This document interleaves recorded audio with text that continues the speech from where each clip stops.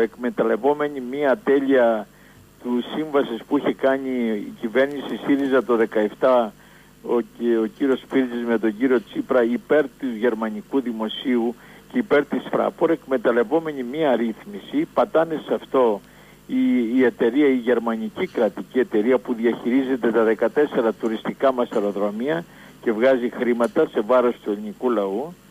Ζητάει τώρα και τα ρέστα διότι αντί να κοιτάξει να δώσουν κανένα γερμανική αποζημίωση για το, το ρήμαγμα της Κρήτης και των Καλαβρίτων και του Διστόμου ζητάει τώρα να αποζημιώσουμε εμείς οι Έλληνες με 180 εκατομμύρια το 2020 επειδή δεν ήρθαν τουρίστες στα αεροδρόμια που διαχειρίζεται η κρατική γερμανική εταιρεία της κυρίας Μέρκελ και του κύριου Σόιμπλε. Δηλαδή είναι απαράδεκτο και έρχεται σύμβαση στο ελληνικό κοινοβούλιο, κατατέθηκε χτες, για να ψηφιστεί, για να πάρει χρήματα η Φράπορτ, επειδή δεν ήρθαν τουρίστες. Λες και φταίγατε εσείς και εμείς και ο απλός λαός που θα πληρώσει 180 εκατομμύρια μόνο για το 20.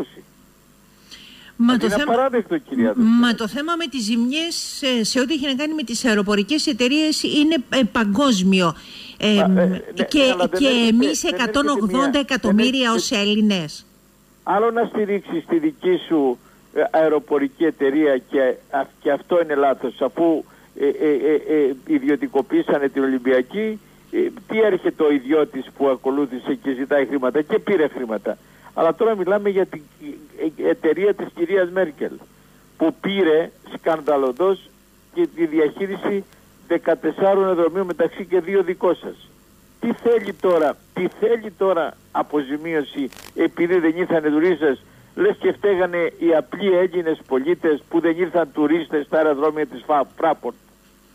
Λέτε ότι αυτή η, σύμβαση δεν την, δεν την έχουν πάρει χαμπάρι οι λοιποί ότι πέρασε στο κοινοβούλιο και ότι πάει για ψήφιση. Μα είναι προς ψήφιση. Τώρα δεν έχω δικό κάποιο κόμμα ή κάποιο ε, πολιτικό να το έχει θίξει.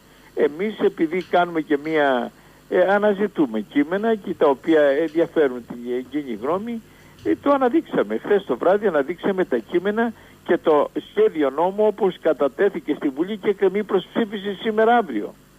Είναι απαράδεκτο κυρία. Νομίζω ότι όποιος μπει στην ΕΝΙΠΕΚ μπορεί να δει, δει ακριβώς αυτό το κείμενο. Νόμου, τη σύμβαση που έχει υπογραφεί, ήδη έχει υπογραφεί. Πάει για κύρωση σύμβαση. Είναι ολοκληρωμένο το σκάνδαλο.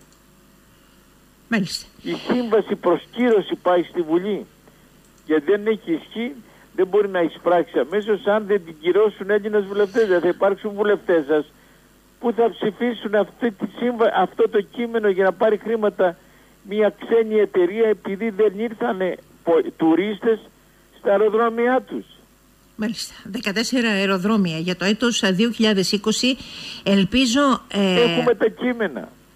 Ε, κύριε Μητρόπουλε, ε, είπατε ότι, ξέρετε, δεν έχετε δει καμία αντίδραση μέχρι στιγμής δεν από...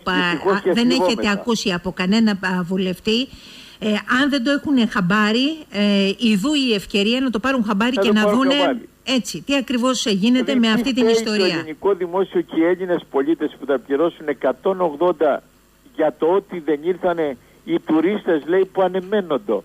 Ποιοι τουρίστες εδώ έχει ανακατωθεί το σύμπαν; Οι τουρίστες της Φράπορτ είναι και πρέπει να την αποζημιώσουν η χώρα μας να την αποζημιώσει λέει για να φτάσει στο επίπεδο κερδών του προηγούμενου έτους από τα λεφτά των γονέων μας